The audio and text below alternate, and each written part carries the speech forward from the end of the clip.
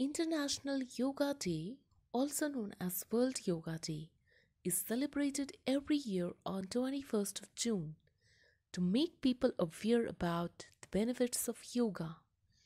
Yoga is defined as Yogana Atmadarshanam. It's about having a direct experience of true self, that is Atman or Purusha. Yoga is a mental, physical, and spiritual practice which energize our body, mind, and soul.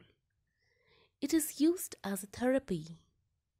It's believed that yoga has been practiced in India since more than 5000 years. It does not propagate any religion or cult. It was on 11th of December 2014 that the United Nations General Assembly declared 21st June every year as Yoga Day or International Day of Yoga.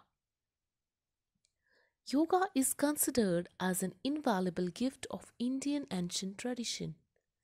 It embodies unity of mind and body, thought and action, restraint and fulfillment, harmony between man and nature, a holistic approach to health and well being.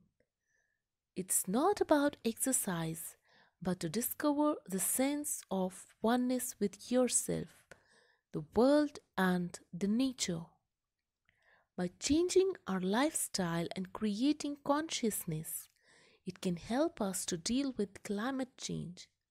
Let's work towards adapting an International Yoga Day. International Yoga Day is celebrated by all over the world and by the people of more than 170 countries.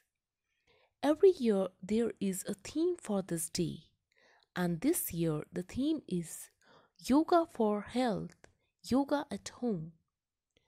Yoga brings all the nations together.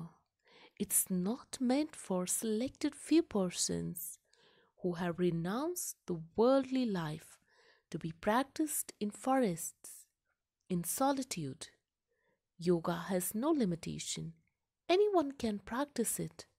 Young, old, very old, sick, or a weak person.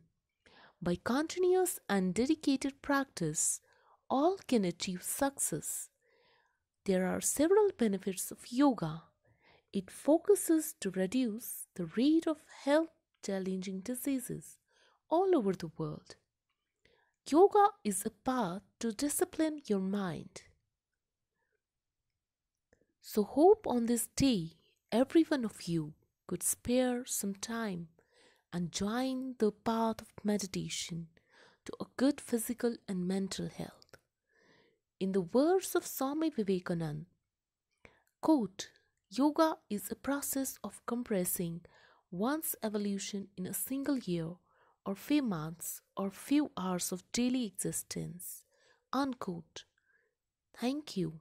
Wish you all a very happy International Yoga Day.